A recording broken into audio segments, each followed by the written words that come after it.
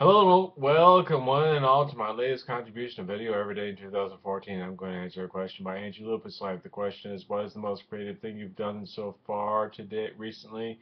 And the answer is, I'm starting a series of six or seven pieces of artwork, uh, like I've done in the past. I've added green and white to all of them, and then I'm going to move on to other colors.